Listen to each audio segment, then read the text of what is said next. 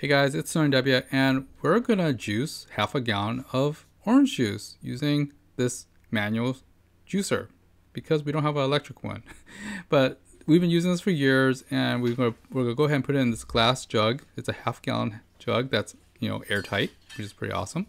So we're gonna be basically cutting all these oranges into quarters and juicing them a quarter each of these quarters into them with this manual squeezer or this manual juicer and it takes about a good 30 seconds per quarter. So we have roughly around 30 ish um, car oranges that are pretty good size we got from the uh, grocery store. We It was on sale, so we bought a whole bag of it. Actually, it was actually a wholesale that we bought it, and it was a lot. So we couldn't eat all of it. So they started going super, super um, saturated and super sweet too. So we figure we don't have enough space in the refrigerator. So the best thing to do is to juice them all. So with around 30 uh, Cara Cara oranges, we start juicing them.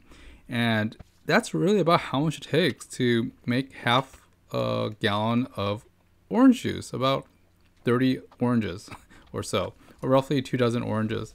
Uh, but yeah, if you're planning to do this on your own, if you want to build up your wrist strength and your finger strength, I yeah, you could totally use this manual method. And after a while, it's um, after about halfway through, you're kind of wondering if you actually have an electric juicer at this point.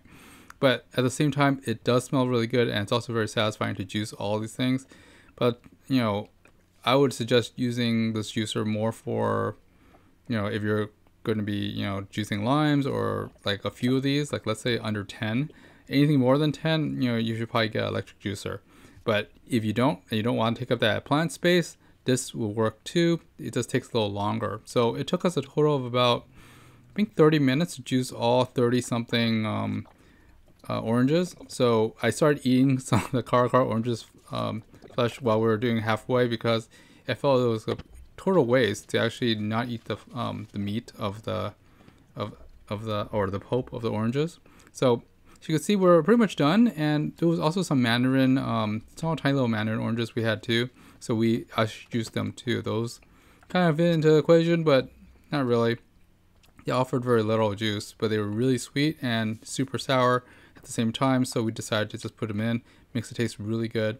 This orange juice is really, really nice. Um, fresh squeezed orange juice is always much better than some concentrated stuff.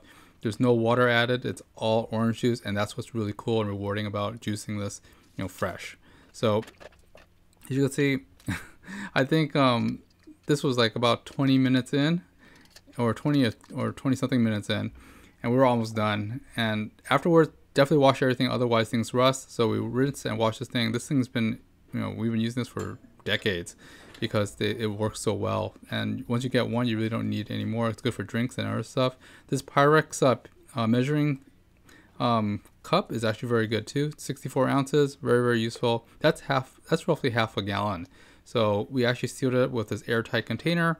That's glass. So you know we didn't want to use any plastic stuff, and it also looks really beautiful. The fact that it's airtight and it's lockable too, very very cool.